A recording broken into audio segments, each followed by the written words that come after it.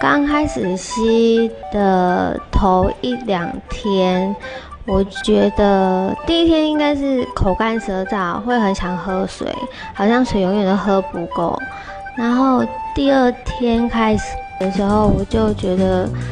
吸完之后，好像隔天起床，因为鼻子过敏都会有那种鼻涕逆流的感觉，会贴在喉咙上。然后会想要咳痰，可是这个痰通常不好咳出来。然后我就发现说，哎，怎么就很轻松的就咔咔两声，然后就咳出来了。然后都是那种黄色的浓痰。然后我就觉得，哎，我最近好像就是连续吸了一个礼拜之后，我好像觉得说我最近过敏好像都没有发作，因为我的过敏主要是季节变换，比如说现在很热，然后我进了气房。这样冷热交替，我就会鼻塞，然后就可能一整天啊，就是很像感冒一样，就是一定要吃鼻炎胶囊才会